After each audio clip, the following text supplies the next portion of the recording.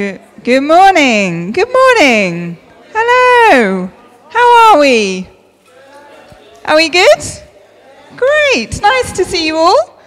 There's lots of empty chairs that are super comfy just here if you'd like to come and sit on them.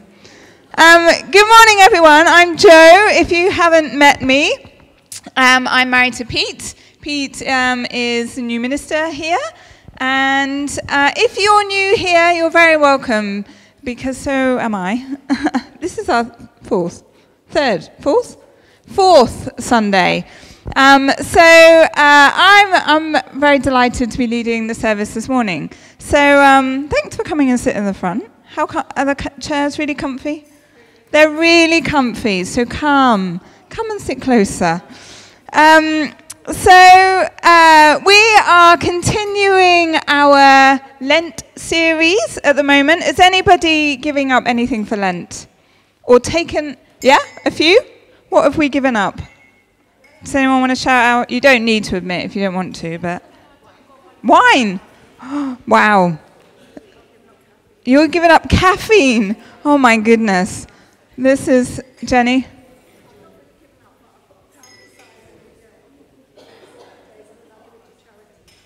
Oh, that's excellent. So um, Jenny's putting aside a pound a day, and so that she can collect that up and give it to a charity.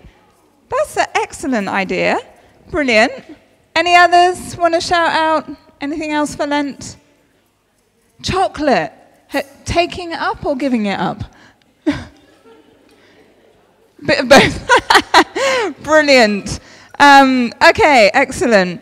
Um, so the series that we are following was produced by LICC, London Institute for Contemporary Christianity. You probably all know that. Um, that Steve works with, and it's looking at being living on purpose. So he opened the series last week, and we will continue looking at it.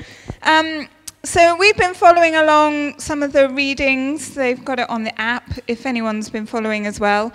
Um, and I, I, I like this series. I like to be purposeful in the things that I do and Pete and I do. Um, but sometimes I feel like when people say, oh, thanks for joining, by the way, more people at the front. I like these seats filling up. Um, that when you're living on purpose, it feels like everything should go well and right. And that isn't always the case in my life. I like to be purposeful, it doesn't always work out as I intend. I feel like living in London, public transport never lets you work out as you intend. Um, and there's different things. I mean, I, I, we were just talking about things that don't quite work out as planned. We try to be very thoughtful about uh, the waste that we produce, Pete and I, in our household. So we live towards a zero waste lifestyle. Has anybody heard of that? Um, it sounds, yeah, great. So it sounds a bit crazy, but we're trying to reduce all of the any waste that we send to landfill. Um, so we only produce small amounts of rubbish that goes into landfill once every a bag, maybe once every few months or something. Um, so food waste is a big deal. Now, if anyone lives in Wandsworth, you know that they don't collect food waste here. And so I had a small um, heart attack when I realized I'm going to have to put food in a normal bin and throw it away. So I did all my good research to figure out new ways of doing it here.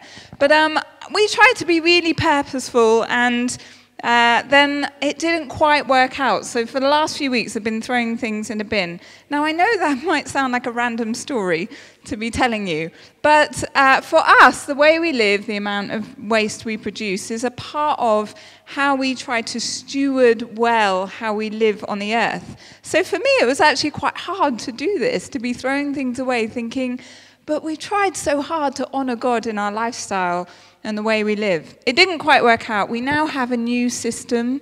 Has anyone heard of Bokashi composting? No, I hadn't either. Go and Google it. It's slightly random. I'll save you the details. But we have now started this new system, so maybe I'll report back at another point. But my point is that living on purpose being purposeful doesn't always work out first time, and that's okay. And so, as we go through this series, even if things don't work out as we intended, um, it's still about our intentions and our intentions before God rather than it all working out perfectly. Um, so, Steve shared this verse uh, last week that I think is going to come up. Um, Romans 12, it's from the message version, which isn't a translation of the Bible, but more of a paraphrase. Um, and it says, uh, Here's what I want you to do God helping you. Take your everyday, ordinary life.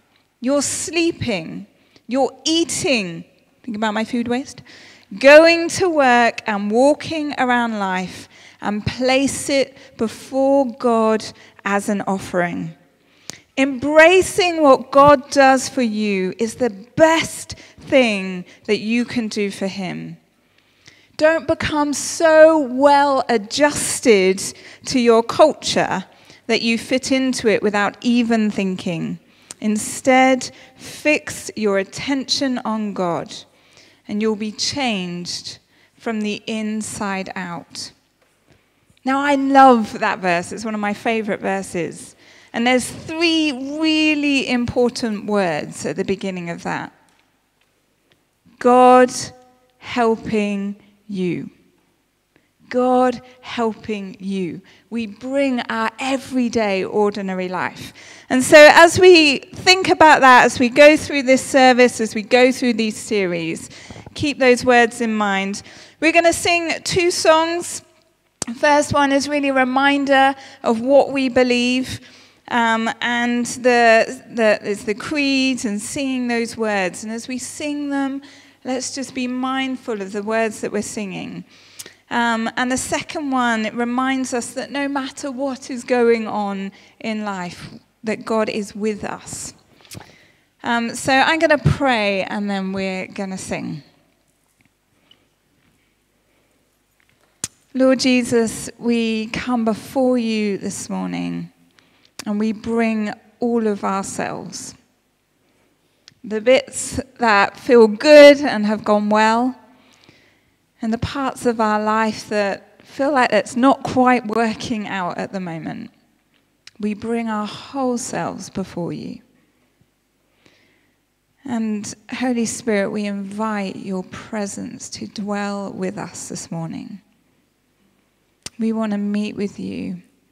We want to be changed from the inside out. We want to fix our attention on you afresh. Would you be glorified by our praises, by our worship to you this morning? In your name, amen.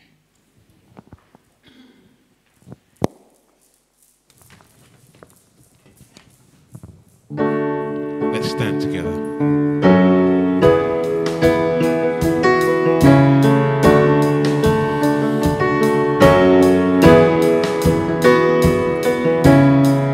Our Father everlasting, the all creating one, God Almighty.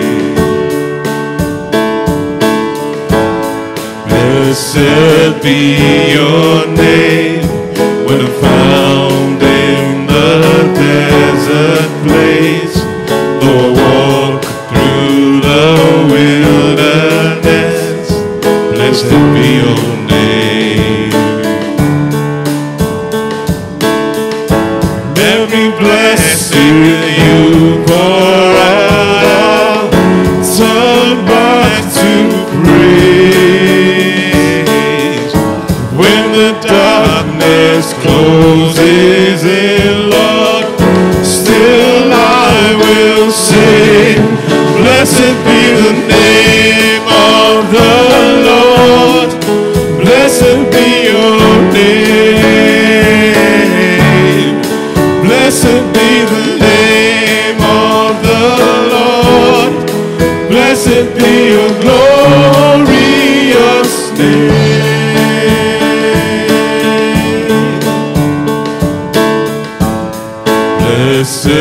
be your name when the sun's shining down on me, when the world's all as it should be. Blessed be your name. Blessed be.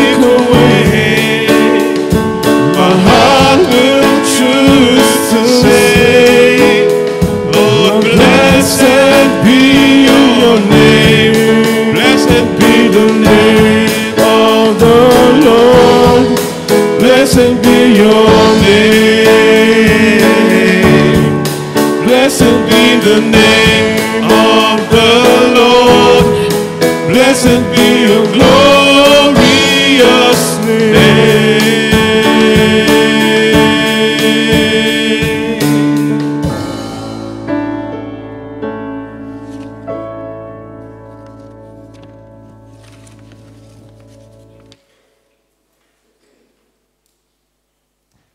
If you've just arrived in the last few minutes, you're very welcome.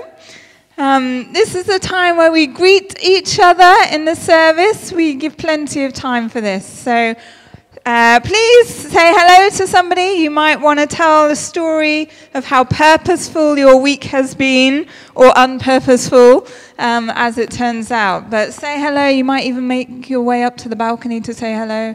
I haven't even found the stairs yet, but I might make it up there. So uh, do say hello to one another.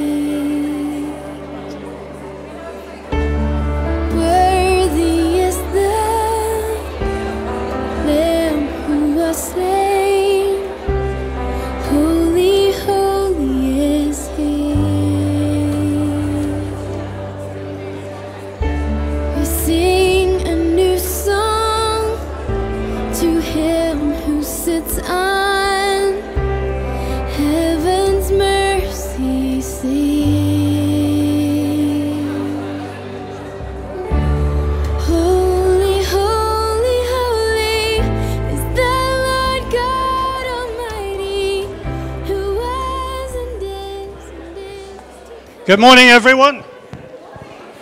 Come on, ladies, settle down, and gentlemen. You okay, Pete? That's okay. I just want to say I, I, bring, I bring you greetings from the Caribbean, having just come back from three weeks there. I had wall to wall blue sky and sun, just like you had here. Yeah. So. And I'm going to go back tomorrow, I think, because I miss it so much. What was that, Margaret? Where? Okay, I went to Aruba, Bonaire, Curacao, Grand Cayman, Cozumel, Mexico, and the Bahamas. I was on a ship, okay? I wasn't swimming between the islands. But I had a lovely time. And, and just to prepare me for coming back, when we got to the port in Florida, it poured with rain the whole day.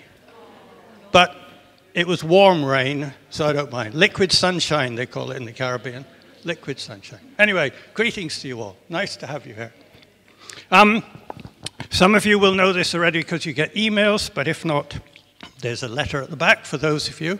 We have a very nice letter from our new pastor, Postman Pat, uh, Pa- Pastor Pete, sorry, and an invitation to his ordination and induction, which is on the 20, it's on the screen, 23rd of March. So that's only four weeks away, is that right? Yeah.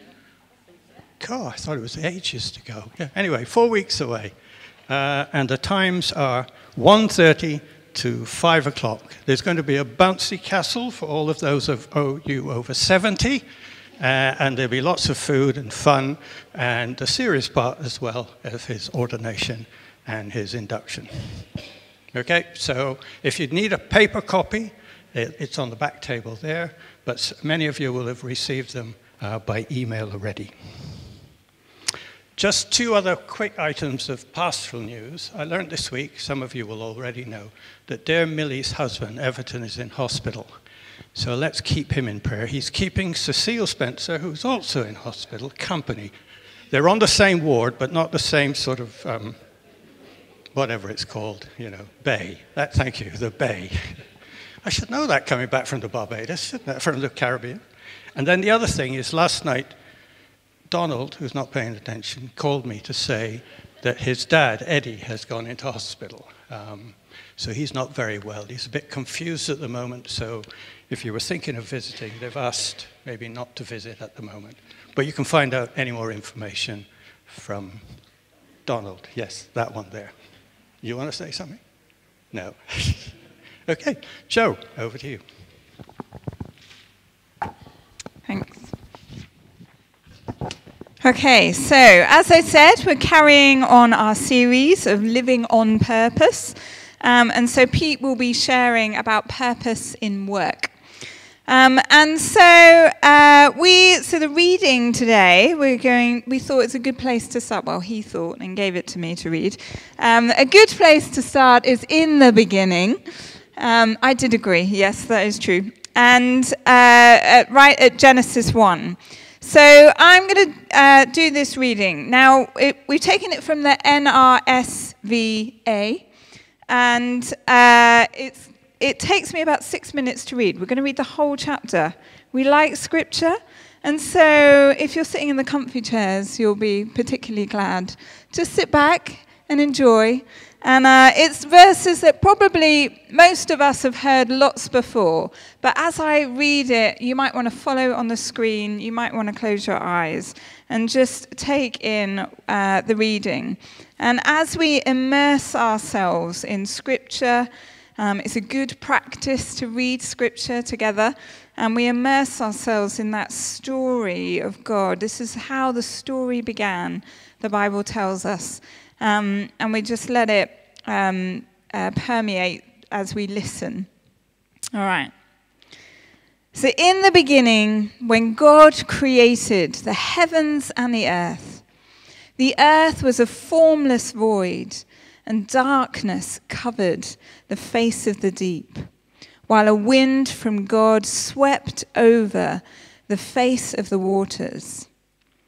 Then God said, Let there be light. And there was light. And God saw that the light was good. And God separated the light from the darkness. God called the light day, and the darkness he called night. And there was evening, and there was morning, the first day. And God said, Let there be a dome in the midst of the waters, and let it separate the waters from the waters. So God made the dome and separated the waters that were under the dome from the waters that were above the dome. And it was so. God called the dome sky. And there was evening, and there was morning, the second day. And God said, Let the waters under the sky be gathered together into one place, and let the dry land appear. And it was so. God called the dry land earth, and the waters that were gathered together he called seas. And God saw that it was good. Then God said, Let the earth put forth vegetation, plants yielding seed, and fruit trees of every kind on earth that bear fruit with the seed in it. And it was so. The earth brought forth vegetation, plants yielding seed of every kind, and trees of every kind, bearing fruit with the seed in it. And God saw that it was good. And there was evening, and there was morning, the third day. And God said, Let there be lights in the dome of the sky to separate the day from the night, and let there be for signs and for seasons and for days and years. And let them be lights in the dome of the sky to give light upon the earth. And it was so. God made the two great lights the greater light to rule the day, and the lesser light to rule the night, and the stars. God set them in the dome of the sky to give light upon the earth, to rule over the day and over the night, and to separate the light from the darkness. And God saw that it was good. And there was evening, and there was morning, the fourth day. And God said, Let the waters bring forth swarms of living creatures, and let birds fly above the earth across the dome of the sky. So God created the great sea monsters and every living creature that moves of every kind, with which the waters swarm, and every winged bird of every kind. And God saw that it was good. God blessed them, saying, Be fruitful and multiply, multiply. Fill the waters in the seas, and let the birds multiply on the earth. And there was evening, and there was morning, the fifth day. And God said, Let the earth bring forth living creatures of every kind cattle and creeping things and wild animals of the earth of every kind. And it was so. God made the wild animals of the earth of every kind, and the cattle of every kind, and everything that creeps upon the ground of every kind. And God saw that it was good. Then God said, Let us make humankind in our image, according to our likeness. Let them have dominion over the fish of the sea, and over the birds of the air, and over the cattle, and over all the wild animals of the earth, and over every creeping thing that creeps upon the earth. So God created humankind in his image. In the image of God, he created them. Male and female, he created them. God blessed them.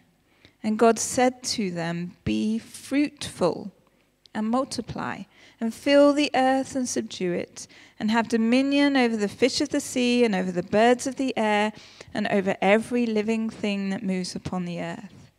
God said, See, I have given you every plant yielding seed that is upon the face of the earth, and every tree with seed in its fruit, you shall have them for food. And to every beast of the earth, and to every bird of the air, and to everything that creeps on the earth, everything that has the breath of life, I have given every green plant for food. And it was so. God saw everything that he had made, and indeed it was very good. And there was evening, and there was morning, the sixth day. Thus the heavens and the earth were finished, and all their multitude. And on the seventh day, God finished the work that he had done, and he rested on the seventh day from all the work that he had done. So God blessed the seventh day and hallowed it, because on it God rested from all the work that he had done in creation. These are the generations of the heavens and the earth when they were created. I hope you enjoyed that. It's good to read scripture. We talk a lot about it. It's good to listen and let it just wash over us. Sometimes changing up the version makes us notice things that we haven't noticed before.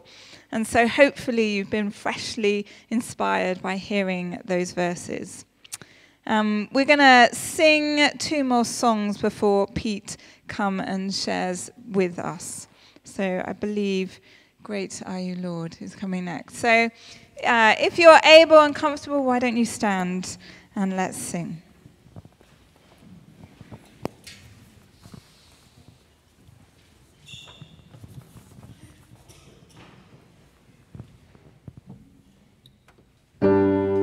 You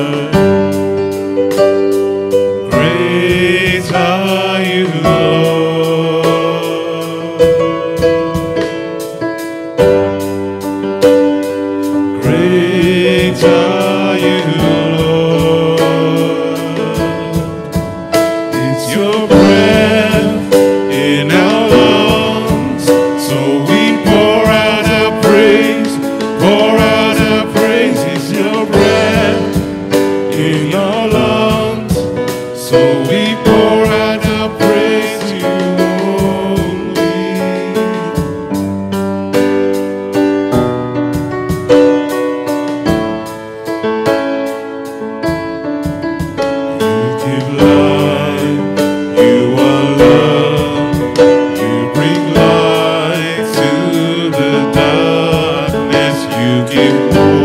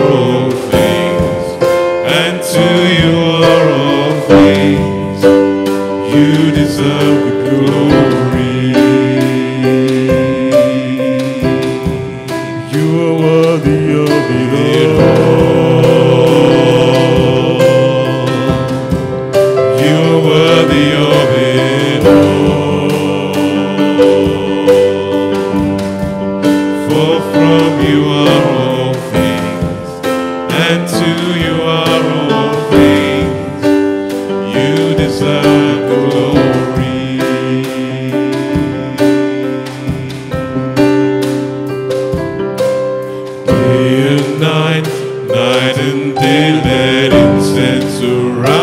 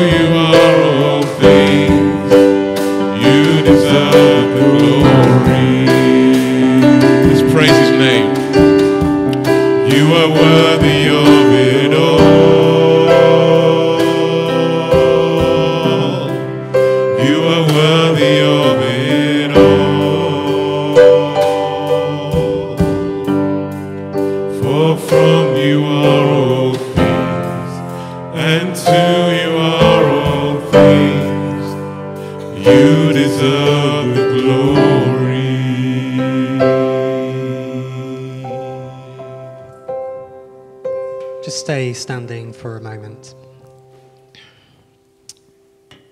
Loving Creator God, you truly are worthy of it all.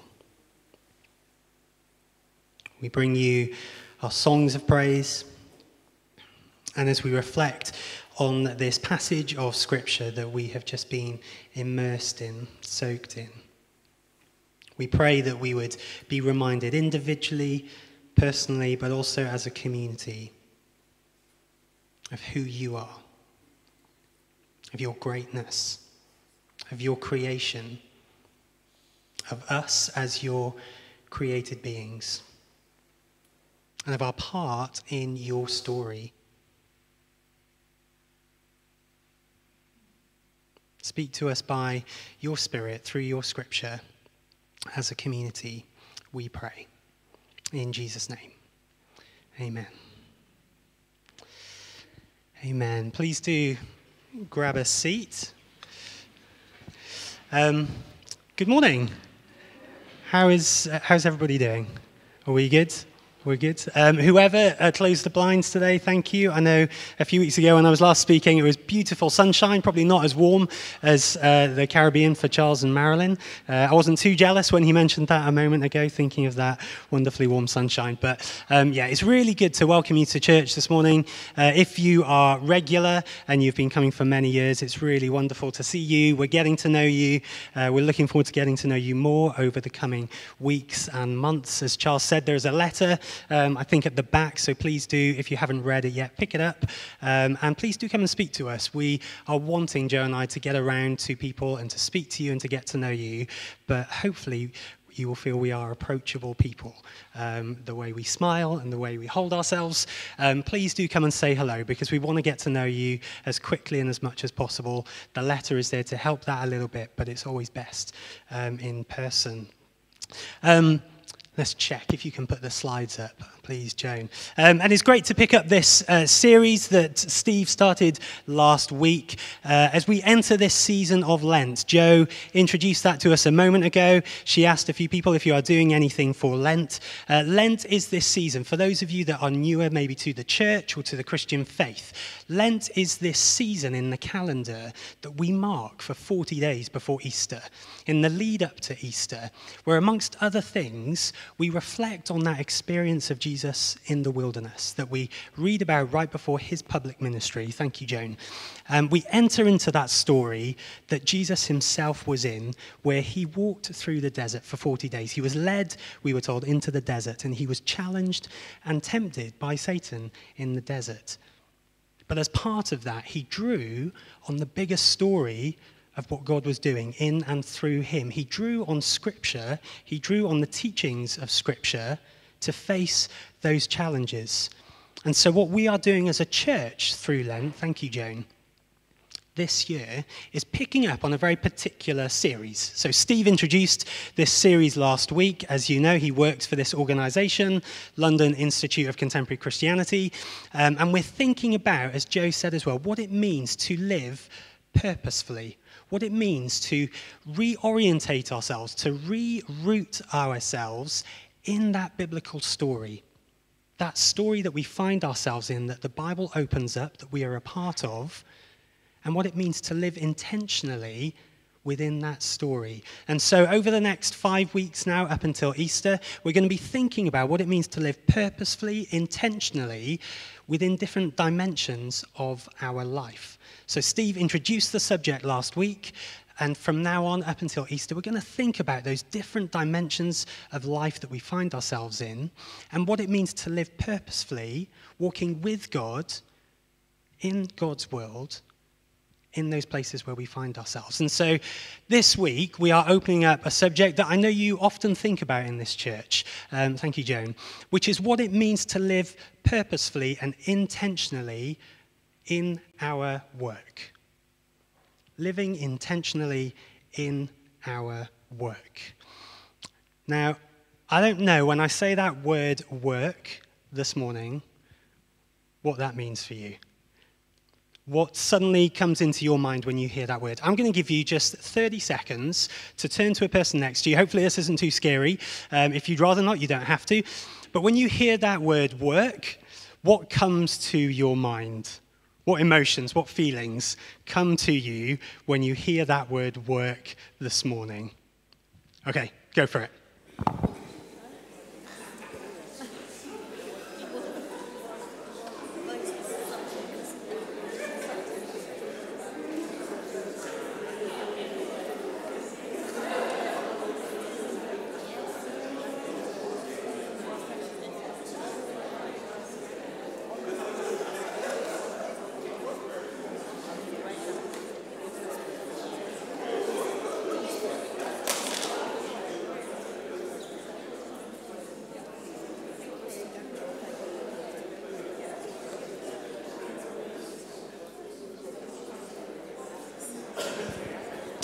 Okay, I'm going to bring you back. I told you it wouldn't be long. Um, what I should have said, I think we're okay, but if there are any children or young people who uh, normally would go to children's church, that is happening today. I'm so sorry. We should have said that. I think we're good. But if there are any children or young people, Christine and Balaji, I believe, are out with the children, so feel free to go. If you want to stay and listen to what I'm going to reflect on, you are so welcome, uh, but you might also enjoy children's church. Um, okay, let's. I heard one word come up immediately on my right hand side, which was the word stress. And by the looks of people's faces, that person wasn't the only one. Uh, are there any other words or phrases? This is not a judgment on what you say. Uh, again, as ever, I'm not testing. I've got a hand up at the back. It's a bit of a silhouette, but somebody wants to shout something. Enjoyment. A, a bit on the other end of the spectrum to stress, but, but another descriptive word. Yes. Depressing. I feel like we're counterbalancing from one to the other. Does someone want to give a more positive word again? Commitment. Oh, no. Joyce? Job satisfaction. We really have gone back to the other end. I presume it's as in good satisfaction, not the James Brown song. Uh, creation. Oh, I feel like Tim is, should be coming up and sharing from us. He's on message. Kudos to Tim for being on message. Um, one more. Anyone else? Busy. I don't, I, I'll be honest, I don't know where that came from. Oh, sorry. uh, busy. Uh, yes, busy. Um, there are a range of words and feelings and emotions when we think about this word work and when we think about purpose in work this morning. And in this room, I'm, I'm hopefully not naive, there will really be a range. There will be some people for whom saying this phrase and thinking about this subject this morning will bring up the stresses of the past week or suddenly get you thinking about the deadlines of the week to come. And I'm sorry for that from the get go. Although that is the, the talk that we've got. Um, for some of you, as we've pointed out, it will be a much more positive word and a positive feeling. It will be something that you find yourself day to day really enjoying how your life looks. For others, this might be a painful word.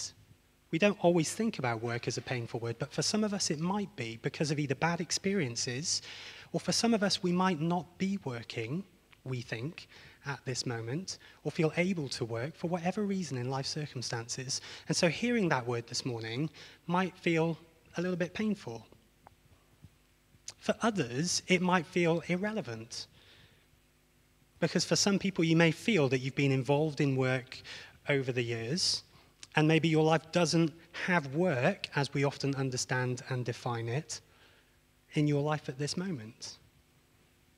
There are a mixture of ranges and emotions that will come to us today when we hear that word. But what I want us to think about, and what I hope will come through this passage, is that as we go back to this, this story that Tim picked up on, uh, back to the story of creation, we will find that this word work actually is relevant for each one of us. Because what I think the Bible tells us and that we're thinking about this morning is much more than just work as we often define it as paid employment. We're thinking about a much bigger vision and a much bigger story of work that I think is much more exciting than we often are told it is and we find ourselves in. Thank you, Joan. And that's why this morning we went back to that first chapter of Genesis. Um, I think Joe did a brilliant reading of a long chapter. I know a couple of weeks ago we read a long passage uh, where we looked at Jesus and the woman at the well.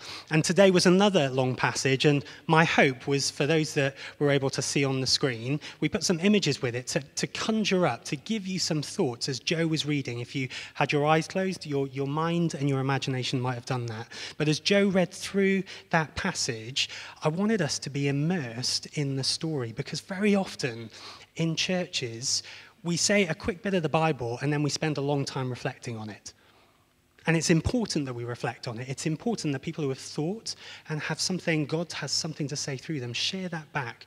But it's also really important that we immerse ourselves in where we get our reflections from. And this passage this morning, Genesis chapter 1, takes us right back, or if you go back to the, the slide before, sorry, Joan, right back to in the beginning. Because with the Bible, we are entering a big story. The Bible is this great, grand narrative that is telling us the story of the world that we find ourselves in.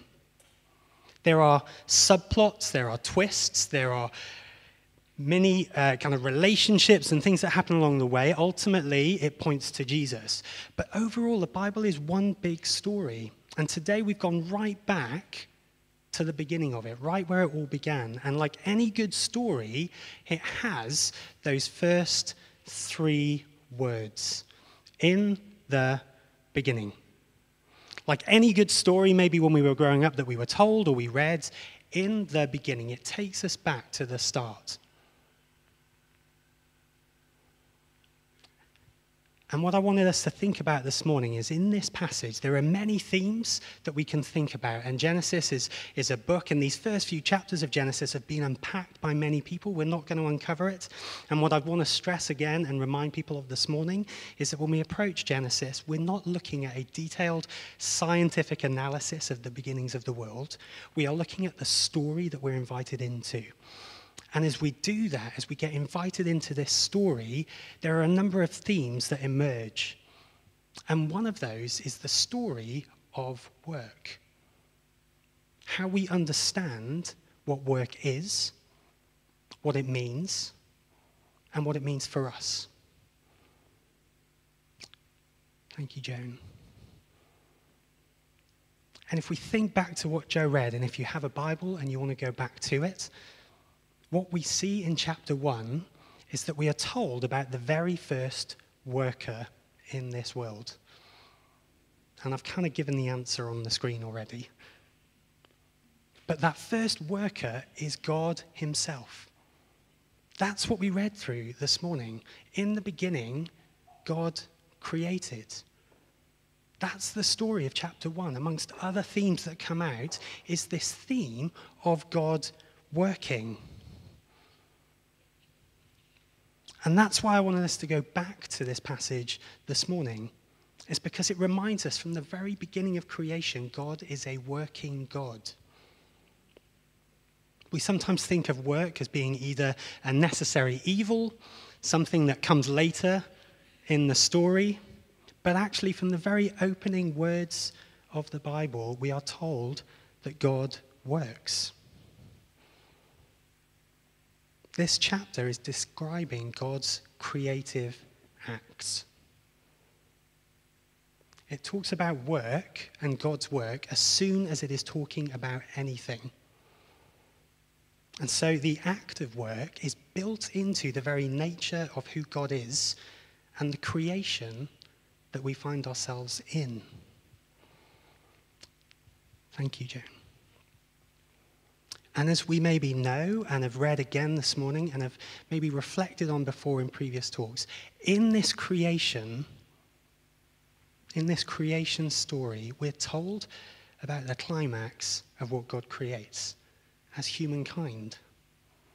The climax of God's creation in not just displaying his beauty and his creativity like the rest of creation, but there is a very distinct part of God's work in humankind in that humans are created in God's image. Each one of us this morning bears the image of the Creator God. Sometimes that's an easy thing for us to think about, sometimes it's more difficult. But for everyone here this morning, we each bear something of the image of the Creator God. I think that's incredible. And I think we sometimes say that, even this morning, say it, and we don't really think about the profoundness that the Creator makes us in that same image, to bear some of that image. And so when we talk about bearing God's image, part of that is going to be in the fact that we are created also to work. Now, already, when I start talking about work this morning, we might have, as we've said, lots of things running through our mind. God's work in the Bible, as it's described here, is not as we often understand work. God wasn't taking a salary, God wasn't working to set hours. He created them, but He wasn't working to them. He didn't have a contract, but His creative acts were acts of work. And in creating us to bear God's image, we are also, as we read in this morning's passage, created to be people that work. There is a, a well known Christian writer and theologian who um, sadly, I think, passed away. Maybe it was last year, a guy called Tim Keller. Uh, and there's a brilliant book which uh, Steve had in the office. I don't know if he knows that I've, I've borrowed it, shall we say, for a few days. Uh, but Tim Keller, this Christian writer, puts it this way Work of all kinds, whether with our hands or the mind, is evidence of our dignity as human beings because it reflects the image of God.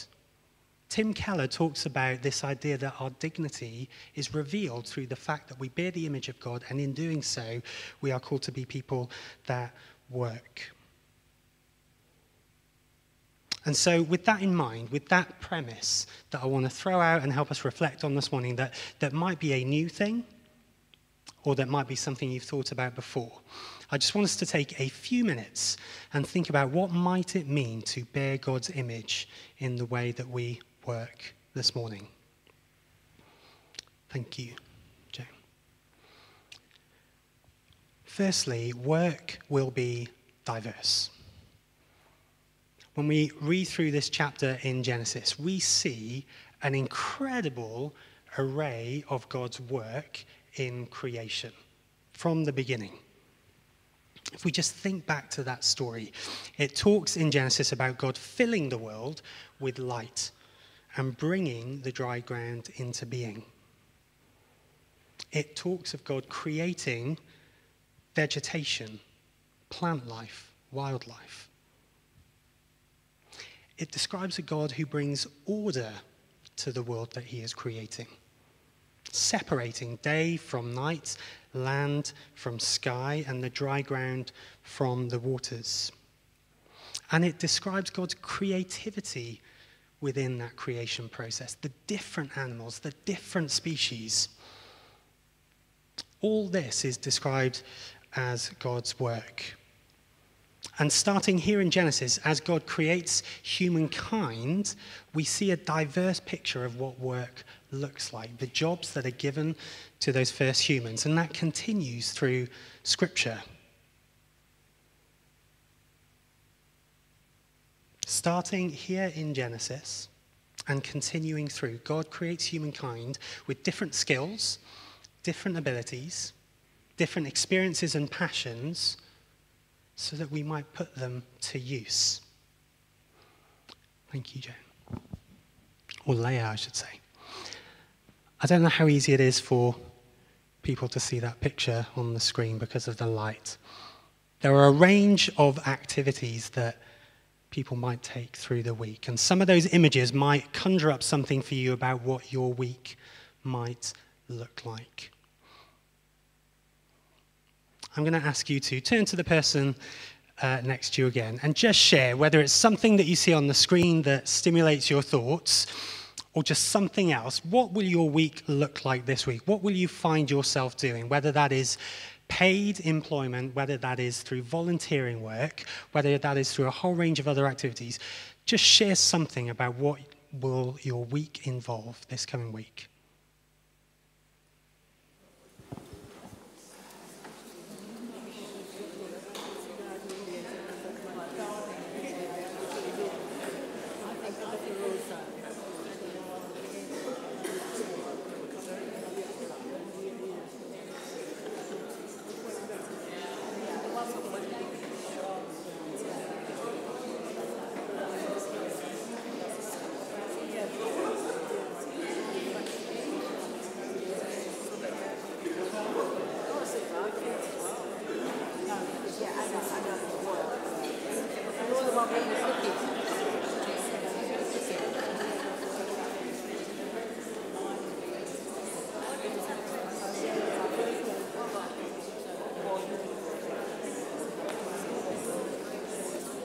Okay. Your thoughts might have been stimulated by the pictures, or you might have had something else in mind. Our weeks will look incredibly different, won't they? We might be spending a lot of time outdoors, we might be spending time indoors, we might be spending a lot of time with people, people of different ages. We might be in an office space, we might be at a computer screen. We might spend a lot of time cooking, whether that's for us or for other people. But this week, we will all be in different places, different contexts, and different spaces where I believe God wants to put us to work. And so, why I say that this morning is because sometimes in our life circumstances, we feel that that word work is less relevant. But in creation, we see from the very beginning, God calls us to be active. That might be physically active, it might be emotionally active, socially active, mentally active, but we are called to be active people that bear God's image, and that will look different for all of us. But there will be things this week in our lives that will maybe mean that we are looking to create something, offer care to somebody, bring order to something. And each of those things gives us a chance to bear that image of God. Thanks, Joan. But I think another theme that comes through as I reflected on it this week in this passage in Genesis is that our work will be relational. I say that because right in the beginning of this creation story, we read something about God and we read something about humankind, of which relationality is at its heart. If we think back to the passage we read this morning, God says, Let us make humankind in our image. At the very beginning of this Bible story, we are beginning to get a glimpse of God in relationship with Himself. It's God three in one persons. It's something that as we continue to read the Bible story, we understand more fully. But at the very beginning, God's words are, let us make humankind in our image. God is a relational God. God creates in relationship with himself. And when God creates, he didn't create solitary things, he created people. He created animals and wildlife to work in relationship with one another. Um, I don't know if anybody has heard about a book called The Hidden Life of Trees. Anybody at all? It sounds uh, not that exciting, but I can assure you it's a brilliant book. The Hidden Life of Trees is about the way that trees communicate to one another in order to grow and to flourish. And very often we think about with trees that it's about the depth of the roots. But with many trees, it's also about how the roots intersect with one another and how the trees communicate to each other. Now, that's a new concept for me. Uh, as much as I love to think I know a lot about wildlife, I really don't know that much. But one of the profound things of this book is how trees flourish because they communicate between one another. Their growth, their activity is not just a solitary action, It is about a relationship with one another. If you don't know what I'm talking about, or you're not sure if I'm actually saying something that's really true and I've got it wrong, I'm very happy to point you to the book afterwards. But it's a profound thing about God's creation and also us as people is that we are called to be active in relationship with one another and to bring about the best in others through that relationship. And so, whatever our week looks like this week, if you can take us back to those pictures, thanks, Joan. Whatever it is that our week is looking like in the week ahead, we will have opportunities to connect with others.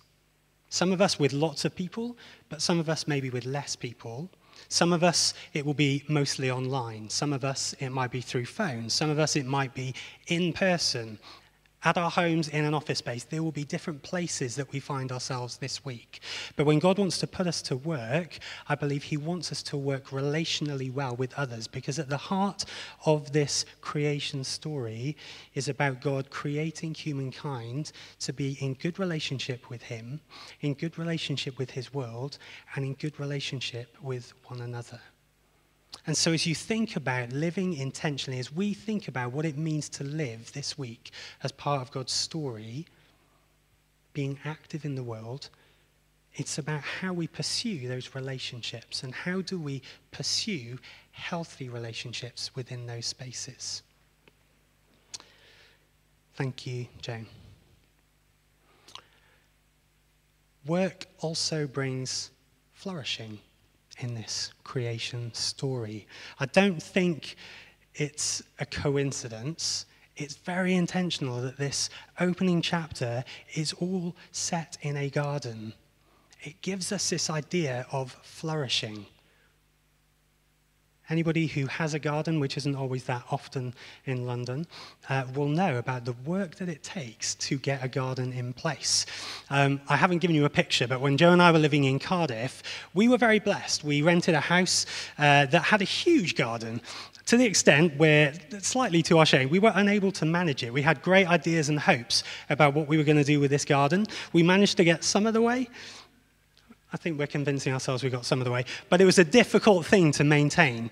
Gardens are difficult things to maintain. And what we found difficult was having the time to do it ourselves. And also, at least for myself, I won't throw my wife under the bus, the skill set to do those different jobs. We needed other people's help to help that garden to flourish because we all have different skills and abilities. And so, to help things flourish, there will be people with different skills and abilities, whether that be in your workplace, in your community. But the idea, building on the fact that work is relational, is that together we are called to pursue a flourishing world as God would have it be, that original creation. We know that that is not as the world is. But when we root ourselves back in this story, we are reminded that we are called with others to pursue a flourishing world and we are created differently. I wonder what flourishing looks like in your life this week. Not just flourishing for you, but flourishing for others and flourishing for God's wider world. For some people this week, that might literally be about bringing order to some very out of order spreadsheets. I'm getting some looks of people who now know that's what their week is going to involve. But that actually will be part of it because it will help processes work better. For some people, as it does this morning, it means helping sound and visuals to work well so that I can be heard, which is hopefully a good thing, and for the music team to be here, which is definitely a good thing. But that is about bringing flourishing so that people might participate Flourishing will look very different this week. It might be helping people flourish through providing them with food or a coffee, by serving or cooking. It might be flourishing through the conversation that we offer this week that nourishes a person's soul and mind as well as their body. Every one of us this week will have that opportunity to put our God given abilities and skills and experiences and situations into practice by helping not just ourselves, but helping others to flourish. And so with those pictures on the screen, I would just encourage you to think about what does it mean to be active this week? Whatever our life circumstances might be at the moment, how might God use you this week to bring that flourishing? And then finally, maybe a word that you're all hoping would come up and desperate to see in your own life. Work will require rest. Rest is part of this creation story. God rested. And so, if we're to bear God's image, we don't just work well, we rest, and we rest well. When you go back to this story, God wasn't resting in order to recover. He was resting to enjoy what he had made, to enjoy that creation, to celebrate what had been made. And so to rest well at times might involve recovery from tough seasons and from tough times in our workplace. But rest is also there to be resting well that we might celebrate, that we might enjoy both what we have been involved in creating and a bigger part of what this world is around us with others. And so for each of us this morning, I would encourage us to think about what does resting well look like? Because the Bible's story about work also involves rest. And if we want to bear that image, if we want to be people that God has fully created us to be, it's about finding time to rest and to rest well. Thank you. And so this morning, as we just reflect on that story of work, that story of work that begins in Genesis, we know that's not the end of the story, it's the first chapter. We're not going to be looking at every chapter through Genesis uh, from now until Easter. But I wanted us to start in that beginning story this morning, to think about what it means to live in that original purpose that God has for his creation we know as we go to the next few chapters, there is a plot twist in the story where sin enters and there is a breakdown, not just of humankind's relationship with God, but about how we live in that good pattern. And yet there is somebody who comes to bear that image fully so that we might see it in all its glory. Over the coming weeks, we lead up to Easter, where we think about the person of Jesus coming to this world on the cross, reconnecting us with God for relationship with Him, but through His life, bearing that image of what it means to be truly human. Living out that vocation that God had on His life, but also talking about rest and the importance of rest and pursuing a life that sought the flourishing of others. And so, as I invite the music team to come back up, I'm just going to ask you to uh, close your eyes and to think about, as I've already said, what is your week going to involve?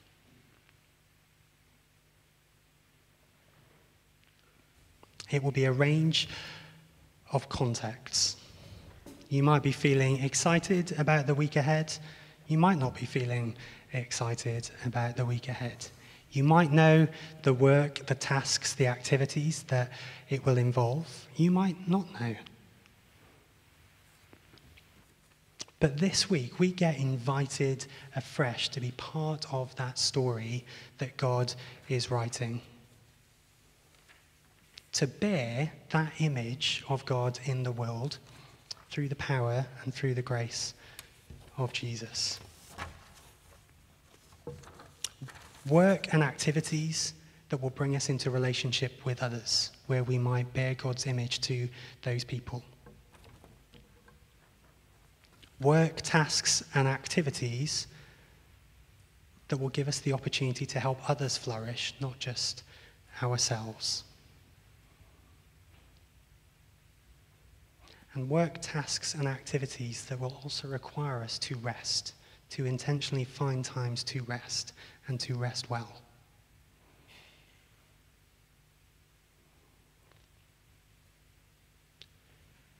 And so, as we hold those situations, the week ahead of us, in our hearts and in our minds,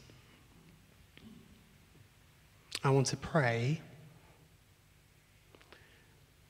that you, loving Creator God, would lead us this week so that we might see more of your image in and through us. That we might see the image of you in others. That we might see those opportunities to relate well with others. In order that we might bring about flourishing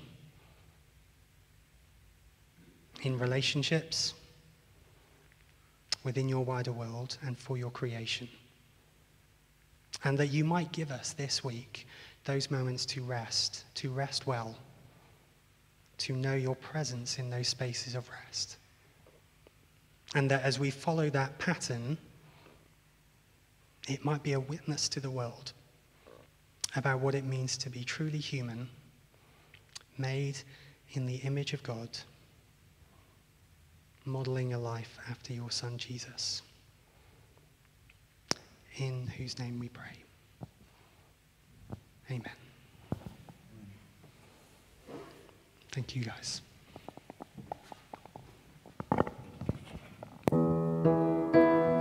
Let's stand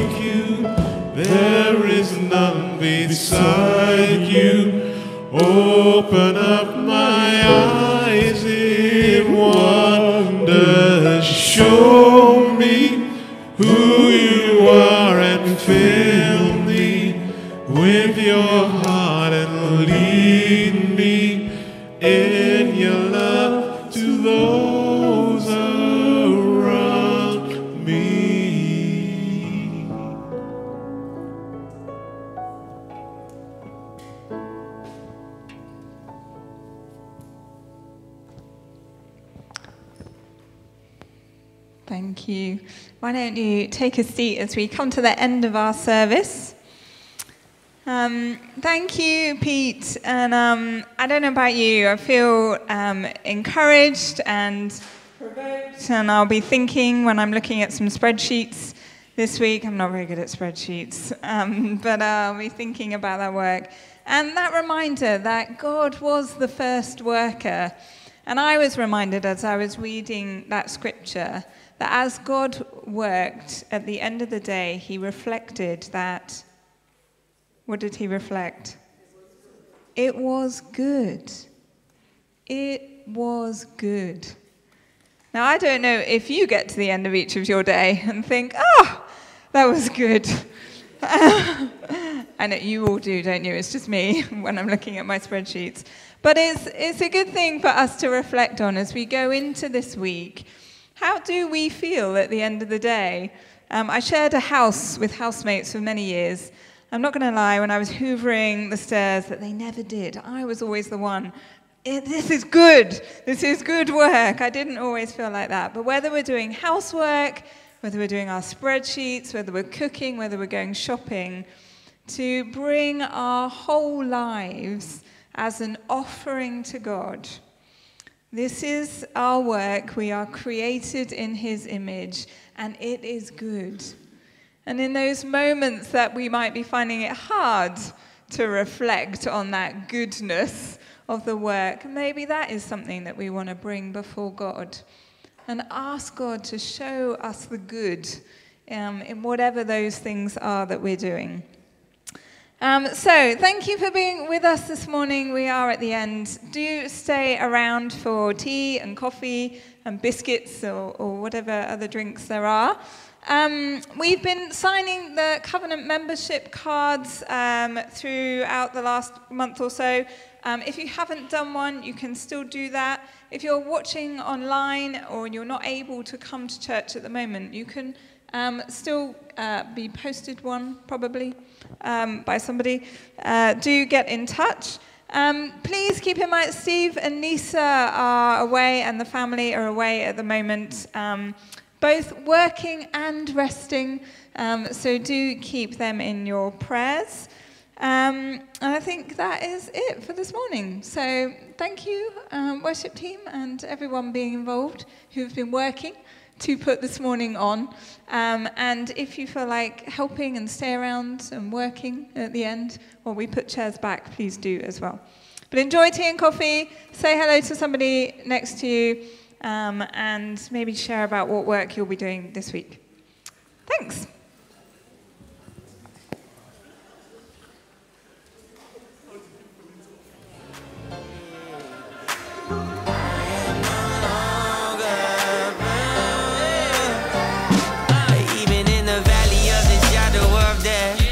Can take rest. Cause the living God is living in my chest.